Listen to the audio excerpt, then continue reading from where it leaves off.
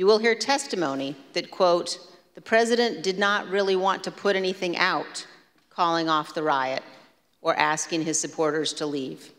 You will hear that President Trump was yelling and, quote, really angry at advisors who told him he needed to be doing something more. And aware of the rioters' chants to hang Mike Pence, the president responded with this sentiment, quote, maybe our supporters have the right idea. Mike Pence, quote, deserves it.